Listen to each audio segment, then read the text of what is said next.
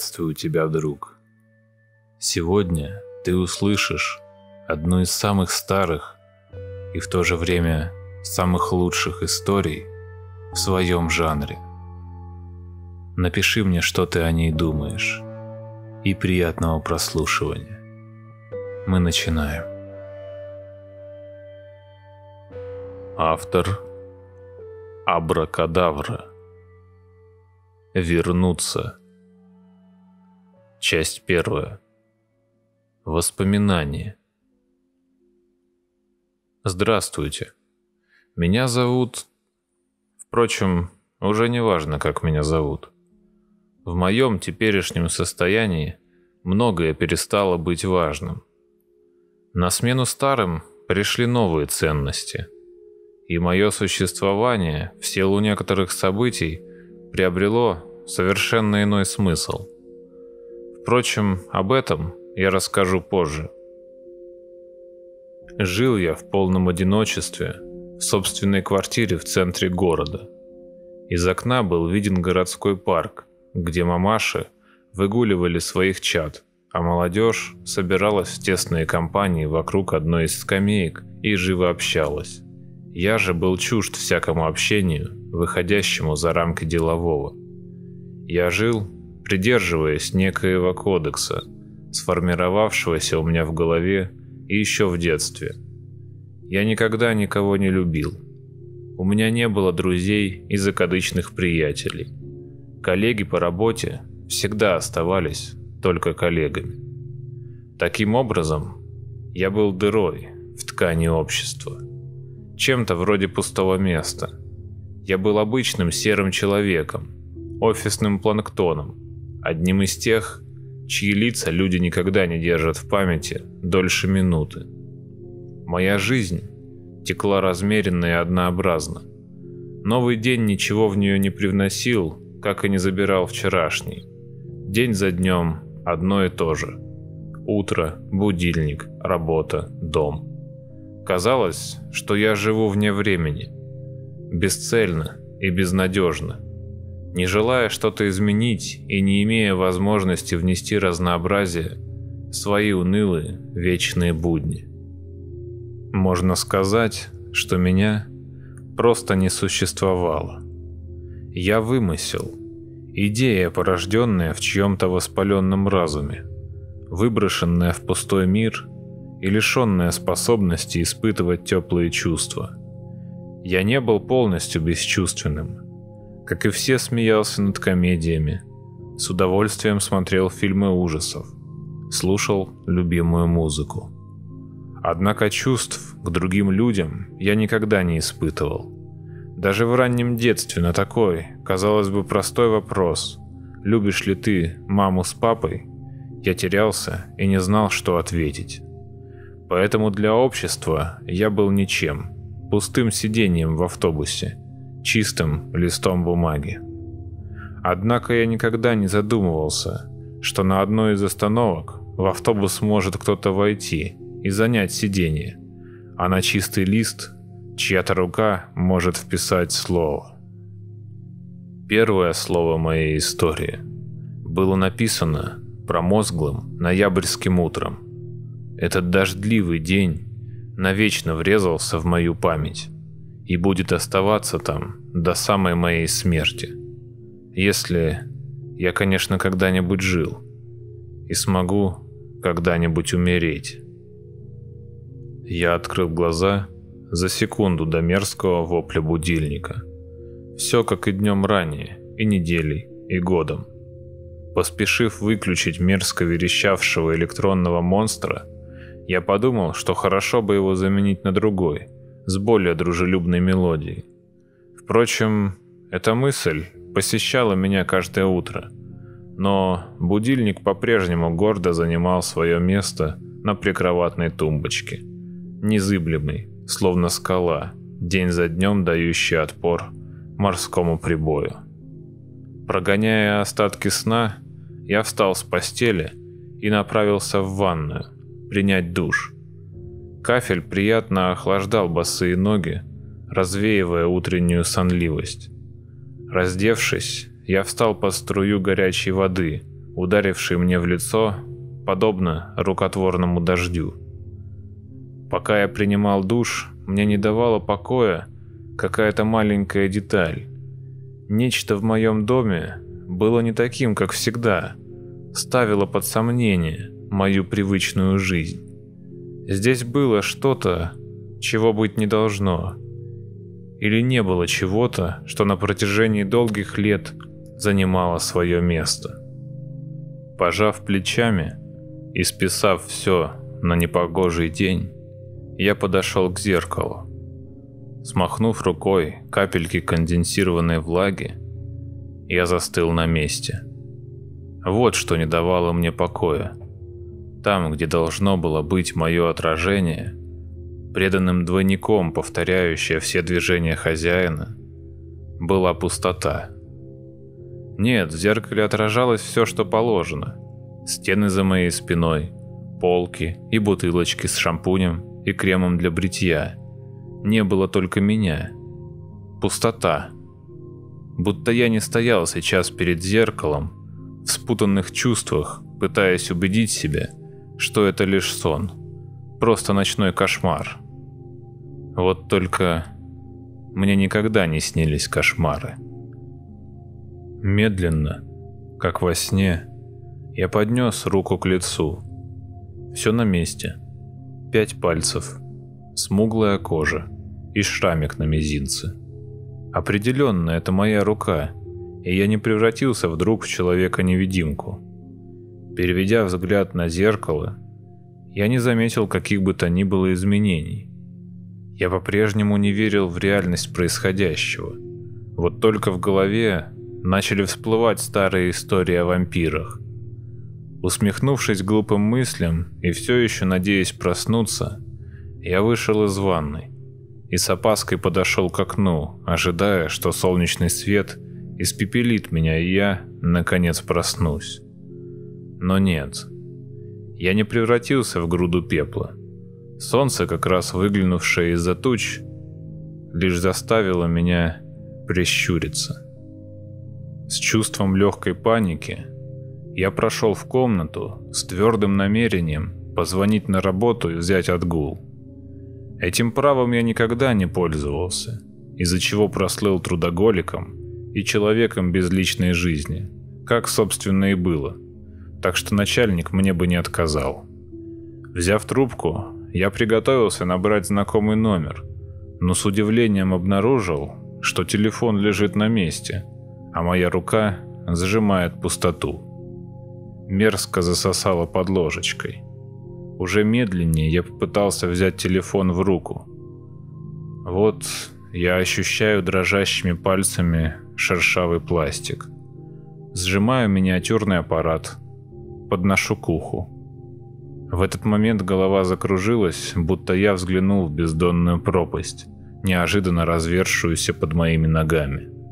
Когда я взял себя в руки, телефон лежал на прежнем месте, будто насмехаясь. Слабость продолжалась лишь секунду, и, возможно, я бы ее не заметил, повторяя свою попытку лишь один раз. Но я пробовал снова и снова. Тщетно. Левое веко нервно задергалось. Никогда не страдал нервными тиками, но сейчас, похоже, пробил мой час. Издав протяжный стон отчаяния, я упал в так удачно подвернувшееся позади мягкое кресло и вскрикнул от боли. Подушки встретили меня твердостью гранита, словно кресло было высечено из цельного куска породы.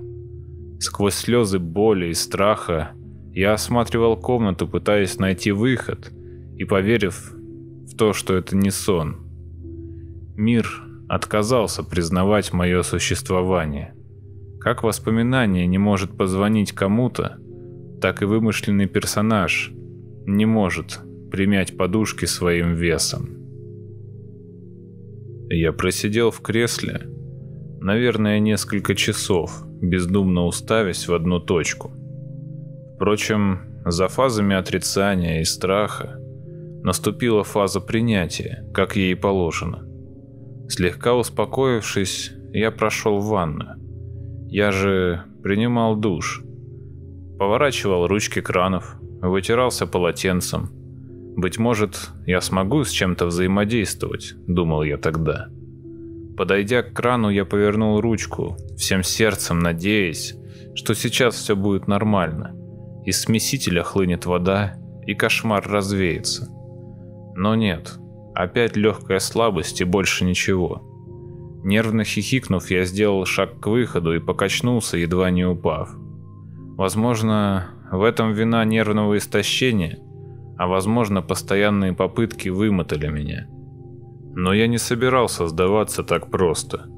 Теперь мой путь лежал к входной двери. Я даже не стал пробовать повернуть ручку, все равно бесполезно. Лишь прислонился спиной к стене и стал ждать. Через некоторое время за дверью послышались тихие шаги. Я встрепенулся и закричал, молотя обеими руками по двери. Я кричал, чтобы вызвали милицию, пожарных, скорую, кого угодно. Кричал, что у меня пожар, бандиты, умирающий человек. Кричал, что выход заблокирован. В общем и целом, нес я полнейший бред, на который только был способен мой измотанный разум. Шаги слегка замедлились, затем затихли будто человек остановился, раздумывая. Затем шаги стали удаляться. Хлопнула дверь подъезда, и настала тишина. Но я орал так, что своими криками должен был перебудить весь дом. Они не могли меня не услышать. Со злости я громко выругался и тут же ужаснулся. Мой голос звучал как шепот. Даже скорее шелест. Будто игривый ветер пронесся сквозь опавшую сухую листву. Меня никто не услышит, никто не придет. Полностью опустошенный, я опустился на пол, обхватив руками колени, и, кажется, заплакал. Очнулся. От полубреда, полудремы я уже вечером.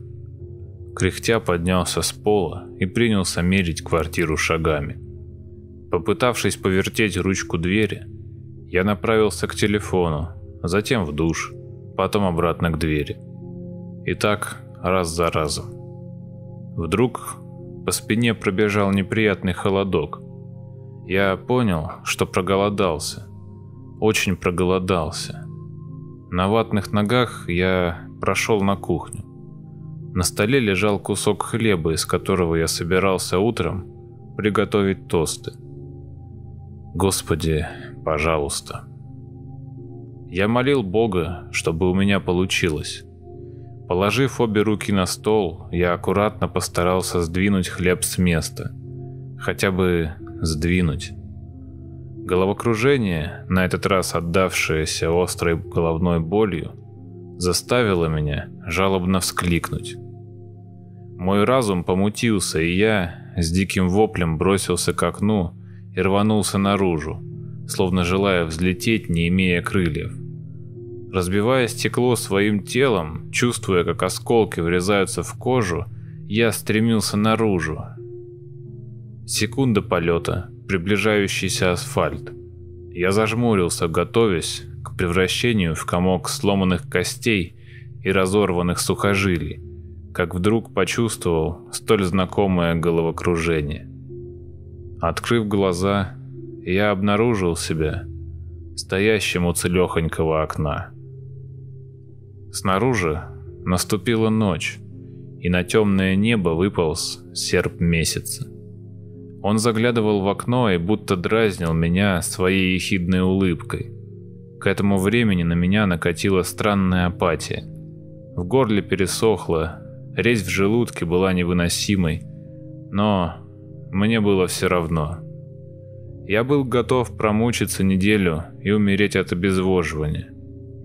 Я действительно был к этому готов. Наивный.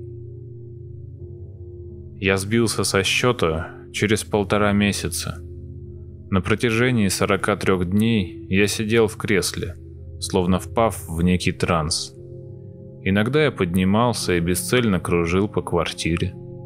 Голод и жажда были невыносимы. Моя кожа свисала с костей, как парадный костюм со скелета. Но я не умирал. Мое сердце продолжало биться в груди, отмеряя удар за ударом время моего существования. Я был неким извращенным подобием мумии, запертой в своем саркофаге в ожидании несчастного, который откроет ее темницу и выпустит древнее зло на свободу. В моей душе крепла ненависть. Да-да, именно ненависть к людям, которые копошились снаружи, как муравьи. Изредка я подходил к окну и наблюдал за людьми в парке, за детьми и стариками, за мужчинами и женщинами. Наблюдал и ненавидел их, их свободу, их жизнь. А еще я ждал. Ждал, когда же кто-нибудь придет и вскроет мой саркофаг.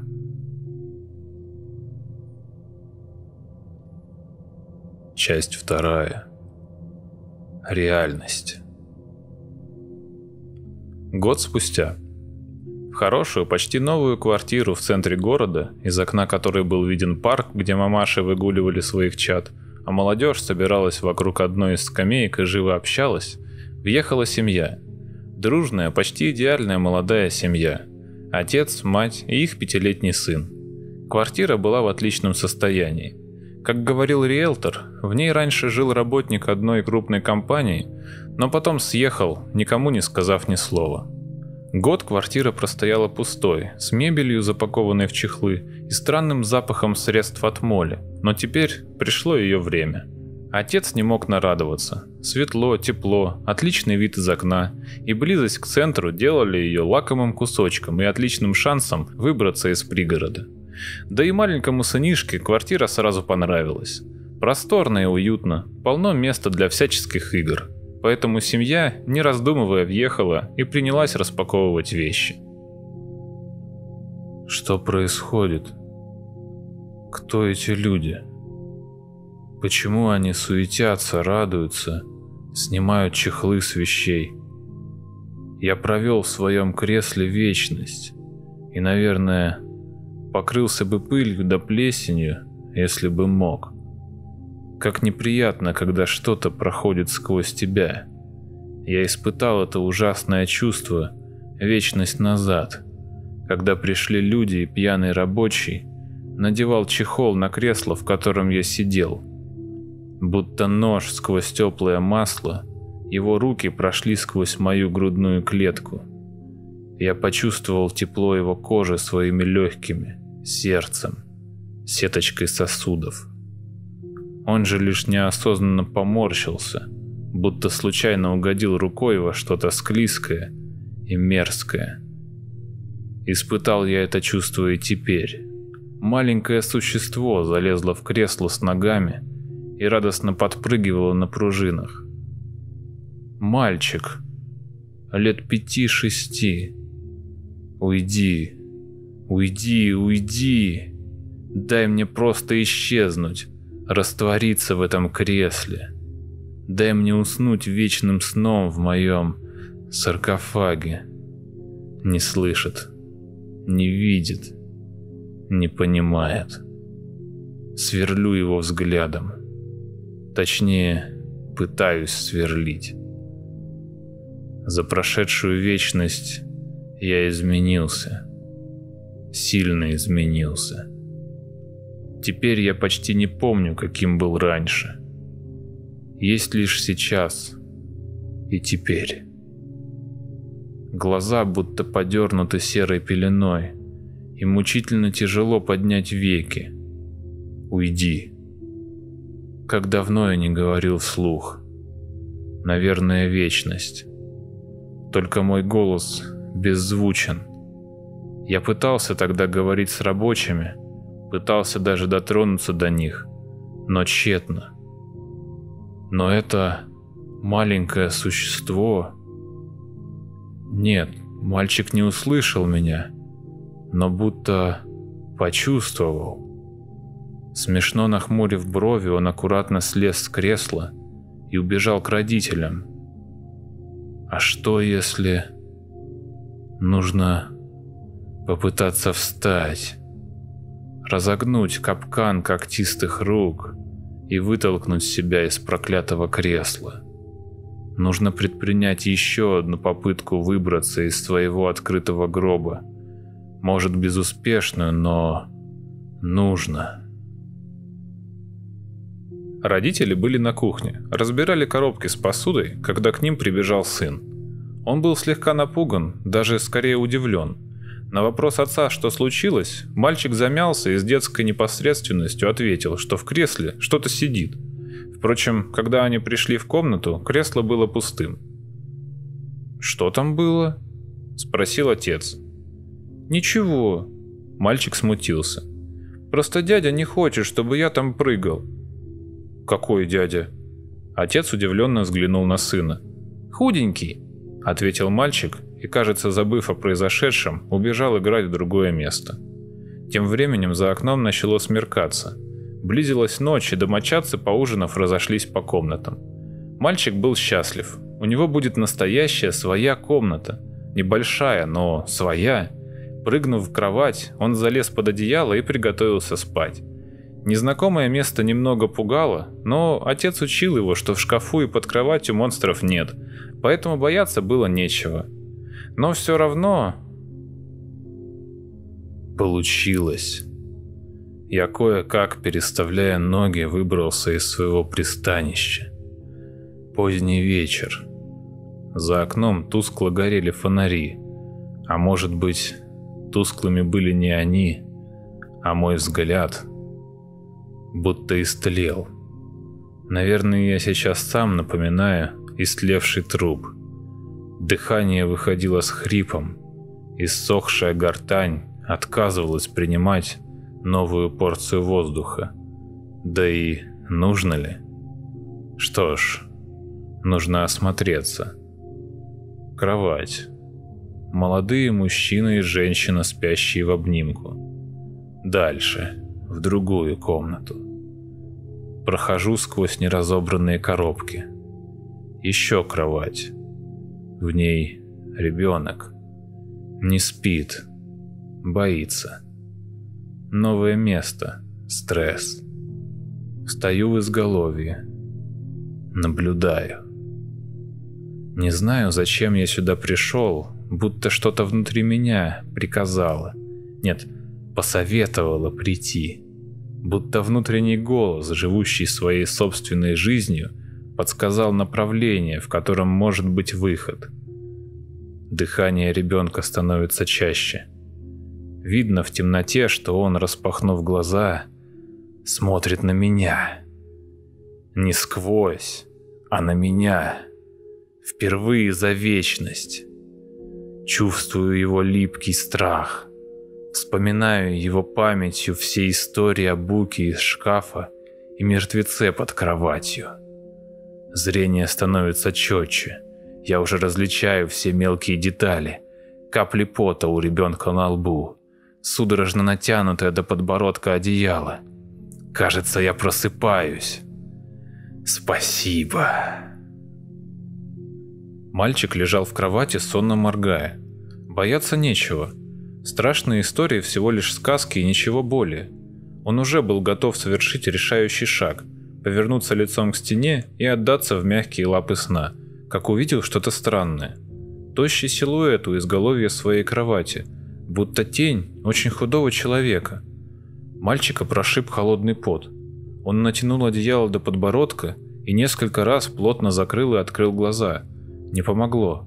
Кажется, силуэт стал только четче – если вначале он напоминал просто тень, чуть более темную, чем остальные, то теперь начал обретать объем. Черные провалы глазниц, спутанные седые волосы, цепкие длинные пальцы скелета. С диким воплем мальчик бросился в комнату родителей.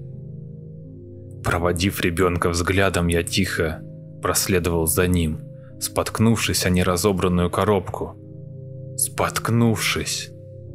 Я, кажется, понял — Теперь, вечность спустя, я понял, как мне вернуть себе жизнь или подобие жизни. Ребенок, подавленный стрессом от переезда, дал мне эту возможность. Возможно, я мысль, или образ, или воспоминание.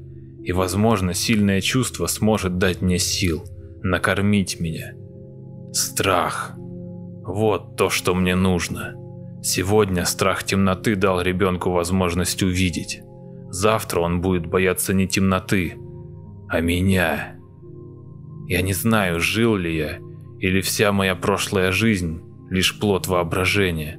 Но я знаю одно – сейчас я сам плод воображения.